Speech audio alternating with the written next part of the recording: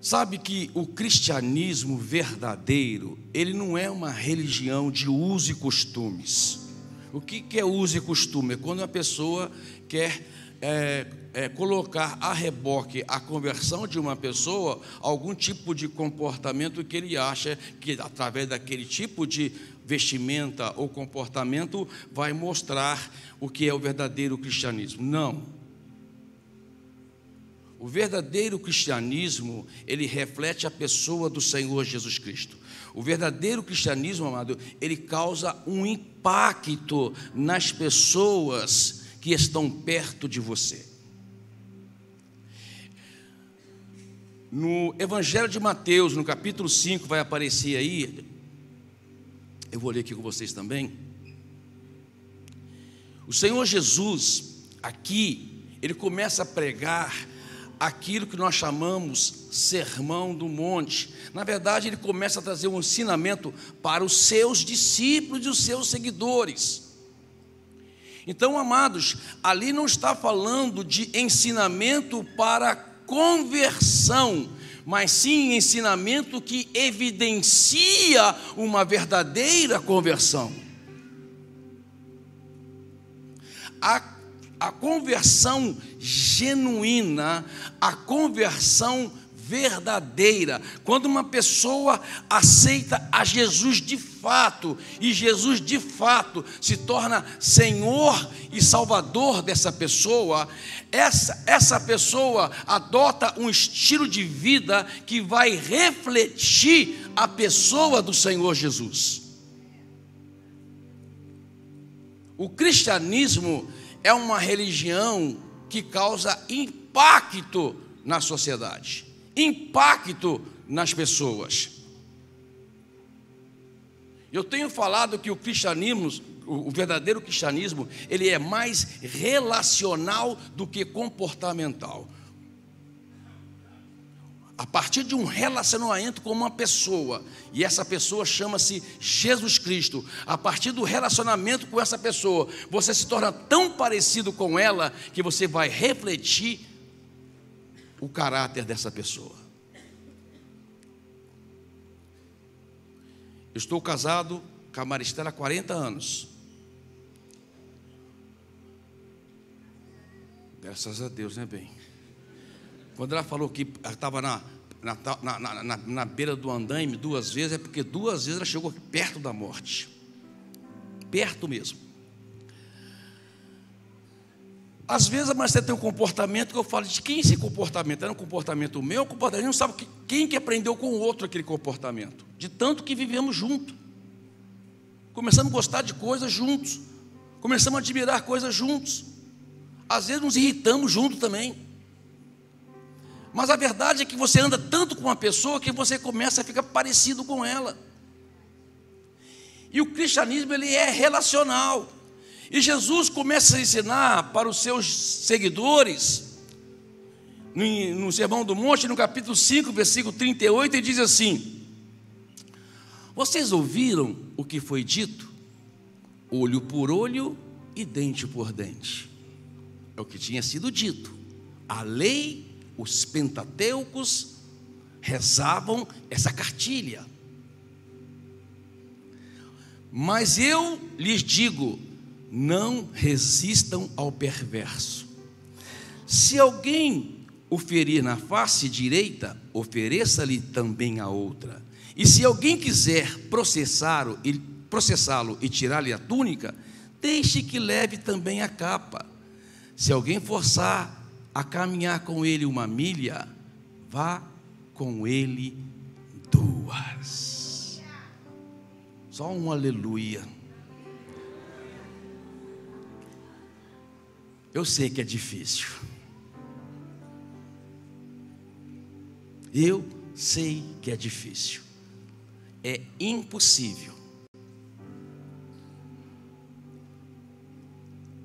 Só é possível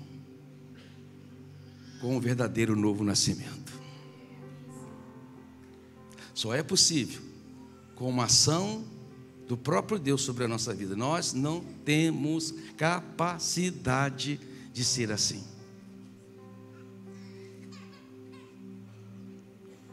se não for pela misericórdia de Deus e o trabalhar do Espírito Santo no nosso espírito. Feche os seus olhos e vamos orar. Papai querido, eu oro que o Senhor venha falar com cada um de nós aqui. Com esses que estão me assistindo em casa, com esses que estão presentes aqui. Que o Senhor venha falar através do poder da pregação da Sua palavra. Fala ao nosso Espírito, Deus, comunica-se a nós de forma tão compreensível que nós saiamos daqui hoje impactados com a tua palavra. Em nome de Jesus. Amém, queridos? Amém. Quem aqui já, já, já participou de uma maratona? Eu sei que tem uma pessoa aqui que já participou, que me comprometeu agora há pouco ali nessa entrada. Não é verdade? Quem já viu uma, assistiu uma maratona pela TV? Quem já assistiu uma maratona? Maratona é aquela corrida de várias milhas, né? vários quilômetros. Às vezes 42, às vezes 10, às vezes 15, às vezes 20. A verdade é que milhares de pessoas se inscrevem para uma maratona. Você olha que a maratona assim, é um mar de pessoas. Milhares de pessoas se inscrevem para a maratona. Mas apenas um grupo se inscrevem porque verdadeiramente querem ganhar a maratona. Esse grupo chama-se pelotão de elite. Eles correm separado da multidão. Por quê? Porque eles estão ali para competir, para ganhar. Eles estão ali para correr, para, para alcançar o prêmio. Eles estão ali para correr, para receber a coroa da vitória. Era o pelotão de elite. Para fazer parte desse pelotão, não é qualquer um. A pessoa tem que estar já ter feito algumas corridas, alcançar um tempo e porque alcançou esse tempo, ganha o direito de participar do pelotão de elite. O pelotão de elite tem uma alimentação especial, ele tem um treino especial, ele dorme cedo, acorda cedo, come comida certa, a hora certa, tem um treino certo. Por quê? Porque ele entra para competir. Aqueles que não fazem parte do, do, do, do pelotão de elite, estão lá para se divertir. Param, tiram foto, mandam para a briga. Aqui estou participando da maratona de São Silvestre. Começam a brincar. Por quê? Porque eles não estão lá por causa do prêmio, eles estão lá só para participar e para se divertirem. E amados, queridos, deixa eu falar uma coisa para você. No que se tange a vida espiritual, nós não podemos estar brincando. Nós temos que levar a nossa vida espiritual muito a sério. A nossa vida espiritual tem que ser levada muito a sério. E Jesus aqui, ele está ensinando, ele falou: foi dito para vocês uma coisa.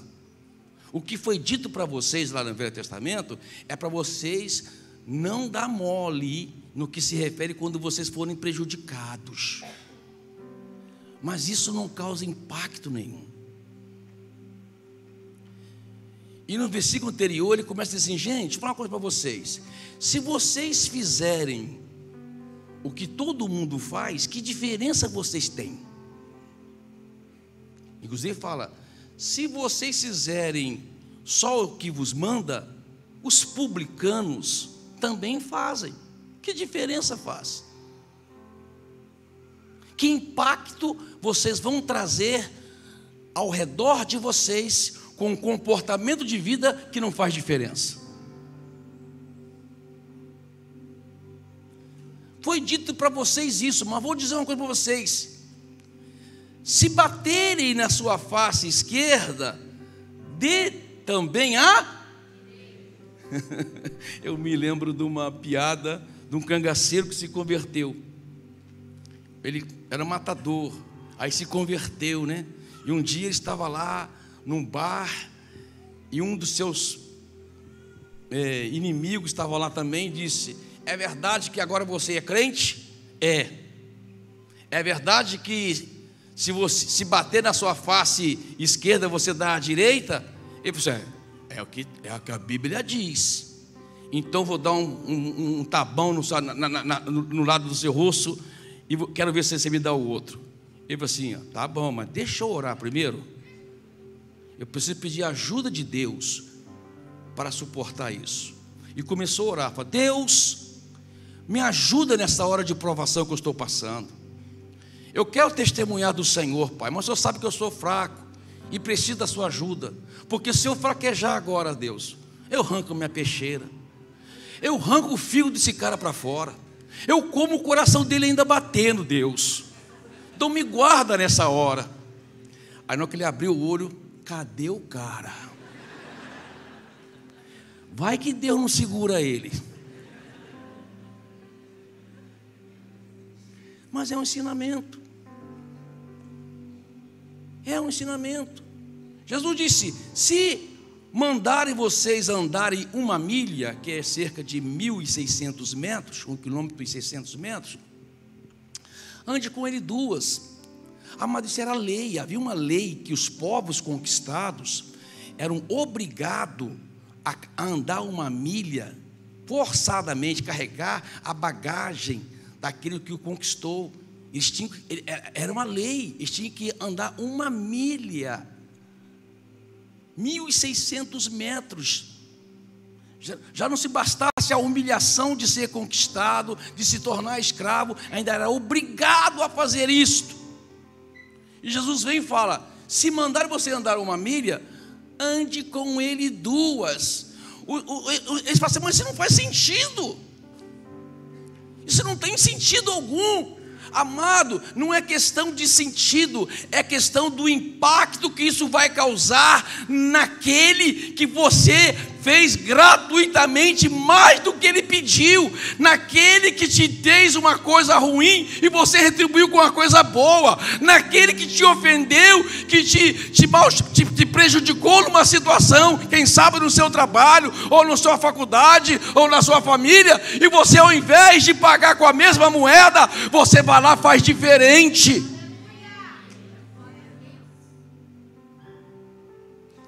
Que Jesus está falando é o seguinte: que o cristianismo verdadeiro ele causa um impacto extraordinário no meio ambiente. O apóstolo Paulo está preso, ele e Silas. Lá em Atos capítulo 16 está preso, preso. E lá na prisão, Paulo e Silas começam a cantar louvores a Deus. E de repente, amado, as correntes se quebram, as portas da cadeia se abrem e, e, e há um alvoroço, e aí o carcereiro está lá e viu aquela cena e ele era responsável por aquilo. Ele disse: Olha o que aconteceu, e ele pega uma espada para se matar, porque ele ia ser responsabilizado por aquela fuga. E quando ele vai se matar, o apóstolo Paulo fala: Pare, não lhe cause dano algum porque ninguém fugiu, nós estamos aqui, nós não aproveitamos da cadeia aberta, das correntes partidas para fugir, nós estamos aqui. Ninguém saiu, calma, não tira a sua vida. Aquilo causou um impacto naquele carcereiro. O carcereiro foi lá, limpou as feridas de Paulo e Silas, sentou para ouvir Paulo, e Paulo falou do amor de Jesus para ele, e ele se converteu, a casa dele se converteu. Por quê? Porque o Evangelho tem que trazer impacto.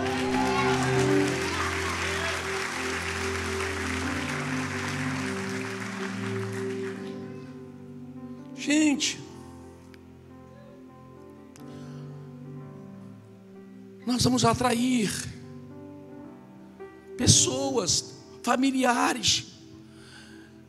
Eu falar para você: a maioria das pessoas se converteram não é porque ouviram uma mensagem. A maioria das pessoas se converteram porque viu um parente com a vida transformada e falou assim: esse cara bebia, não bebe mais. Ele vivia embriagado, não vive mais. Esse cara fazia coisas erradas, não faz mais. Olha a vida dele como mudou.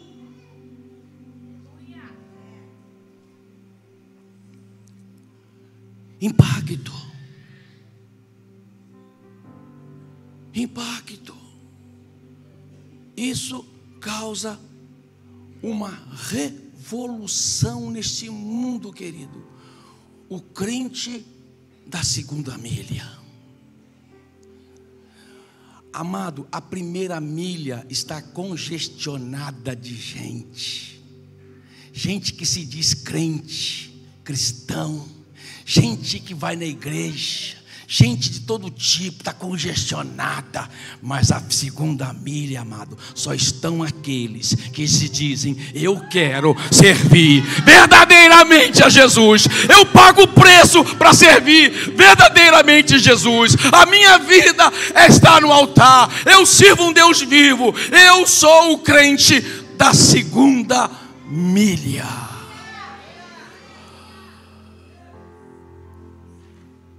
O mundo vai ser impactado com os crentes da segunda milha.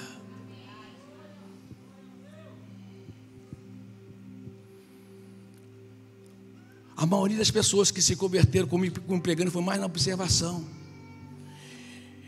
Quando eu morava em Sertãozinho, eu e minha esposa, nós morávamos num bairro que tinha uma descida. E tinha um cara acima que, que eu vivia falando de Jesus para ele, mas ele nunca deu bola. E eu tinha uma reunião na minha casa naquela época. Eu era um jovem, recém-casado, nós dois. E eu trabalhava na usina São Geraldo. Um dia eu cheguei da usina, e ali, como era o bairro novo, estava todo mundo reformando as casas, inclusive eu. Aquele cara tinha deixado, ele três casas acima da minha, ele tinha deixado uma pilha de pedra para a beira da rua. E eu estava descendo do trabalho, eu, eu falei assim, eu vi o tempo armado, armando uma chuva, eu falei, esse cara vai perder todas as pedras, porque quando chovia, a enxurrada descia, levava areia, pedra, e para lá no córrego embaixo, irrecuperável. Eu pensei, esse cara vai perder toda essa pedra dele. Eu corri na minha casa, peguei uma pá e fiquei ali, tirei toda a pedra dele da rua e coloquei lá para cima da calçada dele. Amados, no outro dia, eu tinha uma reunião na minha casa como se fosse um, um GC, a gente chamava naquela época de grupo caseiro. Eu sentei, de repente bate no portão, tá lá o Roberto com a família toda, né, Tela? Oi, Roberto, por favor, entra sentou. A primeira coisa que ele falou: Fiquei sabendo que você salvou minha pedra. Uma atitude fez a diferença. O evangelho, o evangelho não é comportamental, é relacional. É você atrair as pessoas através de um relacionamento que causa impacto. Impacto.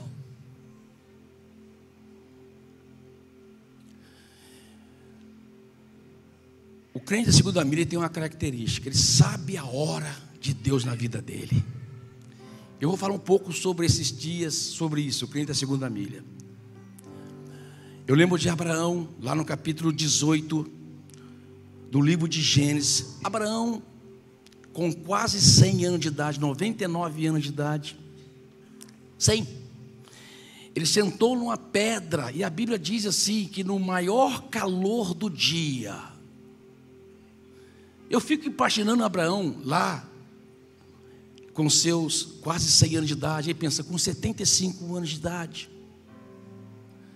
O Senhor disse para mim: sai da tua terra, da tua parentela e vai para a terra que eu te mostrarei. Sê tu uma bênção. E eu obedeci a Deus e fiz, porque uma das características do crente da segunda milha é que ele obedece sem questionar, ele não quer compreender, ele quer obedecer. O crente da segunda milha tem uma disposição no espírito para obedecer a palavra de Deus, não racionalizá-la. O crente da segunda milha é aquele que obedece os ensinamentos do Senhor sem estar ali colocando condições para ele. Simplesmente eu obedeço. E Abraão obedeceu a Deus, saiu da sua terra, do meio da prova, até com 75 anos, e foi por uma terra que Deus mostraria para ele, não tinha ainda mostrado aonde era, simplesmente, mesmo sem saber para onde ia, ele foi. Uau! Sabe, amado, o crente da segunda milha, ele é assim, ele anda por fé, não por vista.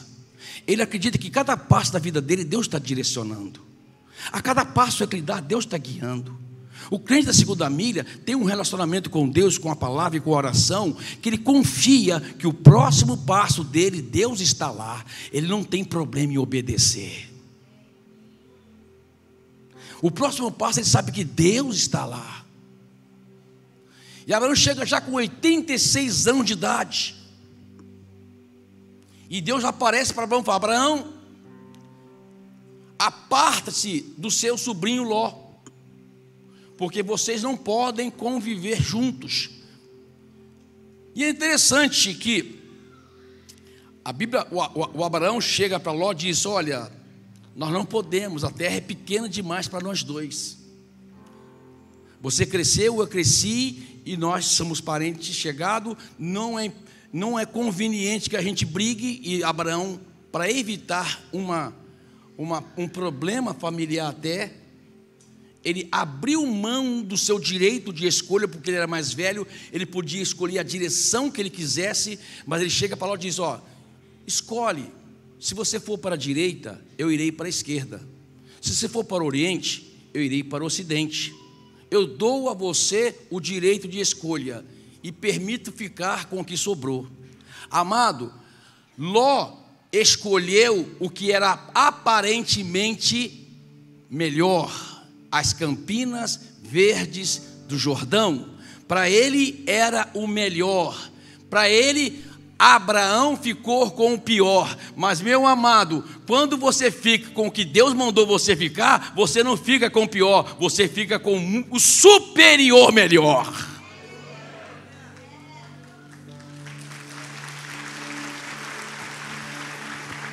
Aparentemente, aparentemente a escolha, o que sobrou para Abraão era prejuízo.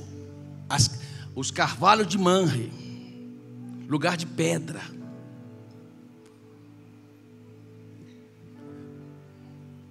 Aparentemente, amado, aqueles que confiam no Senhor e esperam no Senhor, não vê nada na frente como prejuízo, ele sabe que Deus está lá esperando. Tá? Quando você diz com a minha esposa, tá, tá, nós estamos, a gente passa por muitas situações, eu e minha esposa. Eu estava falando assim, eu, Plantela, Deus está com a gente. Eu não sei como que vai estar lá na frente, eu sei que Deus vai estar lá fazendo o melhor para nós. Ele conhece a sinceridade do nosso coração. Ele sabe que nós demos um passo de fé, entregamos tudo para Ele. Amado, entregamos tudo para Ele, confiamos nele. E Deus tem cuidado de cada passo. De cada passo.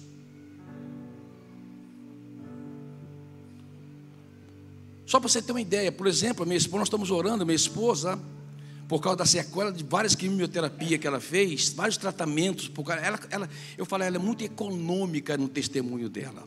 Eu nunca vi uma pessoa tão econômica no testemunho tão extraordinário que ela tem. Por causa de dois cânceres, ela fez vários tratamentos de quimioterapia, radioterapia e teve algumas sequelas. Uma dessas foi no olho. E ela, para não perder o olho, ela tem que tomar uma injeção no olho todo mês. Sabe o que é tomar uma injeção no olho? Só de pensar me arrepia a alma.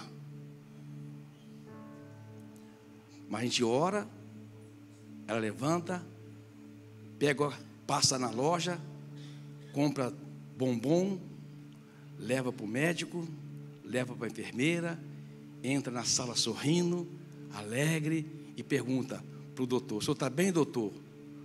Ele diz: Estou. E você? Ah, eu não sei, eu não preciso estar. Quem, tá, quem, tá, quem tem que estar bem é o senhor.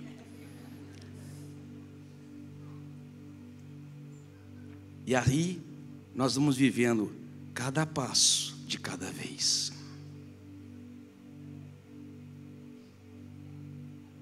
O crente da segunda milha, ele confia que Deus está lá esperando ele. Abraão sabia, ficou pedra para mim, mas Deus está lá me esperando. Eu vou me apartar daquilo que eu preciso me apartar. E aí está o segundo segredo, amado. Às vezes você pensa que vai ser prejudicado porque você se aparta de determinadas coisas na sua vida, mas você vai ter lucro depois. Pode doer agora, mas vai trazer grandes benefícios no futuro para você. Quem está me entendendo da glória a Deus? Aparte-se de tudo aquilo que atrapalha você a ter uma vida genuína com Jesus Cristo. Não foi fácil para Abraão se apartar de Ló, mas ele disse: Eu tenho que fazer isso em minha obediência. 86 anos. E agora Abraão com 99 anos, senta lá, e eu fico pensando, Abraão, pensando, Senhor, já estou com 100 anos. Fazem 25 anos que o Senhor fez uma promessa para mim. A Bíblia fala que o Senhor apareceu a Abraão. E disse para Abraão: Eu voltarei daqui um ano. E você já tá, vai estar tá com o filho no colo. É interessante que Sara estava lá dentro da tenda, ouvindo a conversa do anjo com Abraão. Quando ela falou que vai ter um filho, riu escondida. Aí o anjo falou assim: Ó, Sara riu. não, não riu. Eu sei que você riu. Você não está acreditando, né? E no capítulo 21 do livro de Gênesis, lá, no tempo determinado por Deus, Isaac nasceu. Amado, tem o tempo determinado de Deus na sua vida. Não se desespere, tem o tempo determinado de Deus na sua vida. Talvez você ache que a, que a promessa está demorando, talvez você ache que a vida está muito sofrida para você, talvez você ache que não está valendo nada a pena, mas sabe de uma coisa: no tempo determinado por Deus, as coisas acontecem.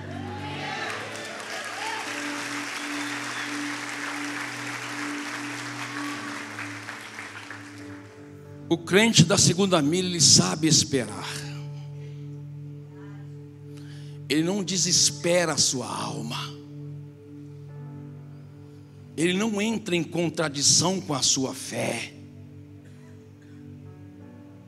Ele não se arrepende de ter entregado a vida para Jesus. Ele sabe que vale a pena suportar. Ele sabe que vale a pena estar com Jesus, porque com Jesus é melhor. Amado, esse mundo vai ter um impacto extraordinário com os crentes da segunda milha.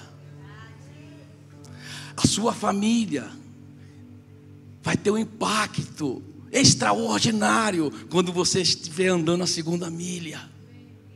O seu casamento vai ter um impacto extraordinário quando você estiver andando a segunda milha. O seu trabalho vai ter um impacto extraordinário quando você estiver andando a segunda milha. É a segunda milha, amado, que é, é, é, o lugar daqueles que verdadeiramente servem a Deus e andam de fé em fé, de glória em glória, que não desanimam, que não enfraquejam, que não retrocedem, pelo contrário, avançam em rumo à vitória com o Senhor Jesus Cristo. Sabe que a coroa eterna é superior a qualquer coroa terrena. Sabe que a recompensa eterna é superior que qualquer recompensa terrena. Ele sabe que viver com Jesus, mesmo no meio das aflições, é bem melhor.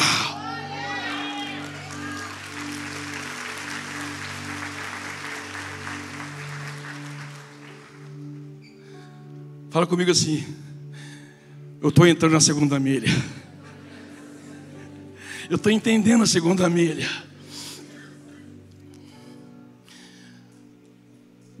Feche os seus olhos. Feche os seus olhos. Eu quero orar com você. Pastor, eu entrei aqui. Já fui impactado com essa palavra. Eu quero entregar minha vida para Jesus. Talvez você esteja pensando assim, mas pastor, eu, eu sou muito fraco, sou muito pecador. Eu tenho muitos erros na minha vida. Eu não sei se eu consigo esse trem, não. É você que Jesus quer. Porque a obra que Ele vai fazer em você não é por causa de você, é por causa da graça dele sobre a sua vida. A obra que vai fazer na sua vida, meu querido, não depende da sua capacidade nem dos seus méritos. A obra que Jesus vai fazer na sua vida depende daquela obra que foi feita na cruz do Calvário por você. É Jesus, é sobre Ele, para Ele, é Jesus. Você vai andar com Jesus e as coisas vão acontecer naturalmente na sua vida, vai ser sobrenatural, mas vai ser para você até natural, porque de repente você está lá na segunda milha. Se você está aqui hoje e fala, pastor, quero entregar minha vida para Jesus, eu quero que você levanta a sua mão, eu vou orar aqui com você agora. Amém, glória a Deus, glória a Deus. Glória a Deus. Pai, estou sabendo essas mãos levantadas. Pessoas, ó Deus amado, atenderam o apelo do Evangelho do Senhor Jesus Cristo. Pessoas estão aqui recebendo a Ti como único Senhor e Salvador. Estão declarando, Pai amado, diante do mundo, diante do mundo espiritual e do mundo natural, que a partir de agora a vida delas pertence a Jesus. Pertence a Jesus. Pertence a Jesus. Aleluia!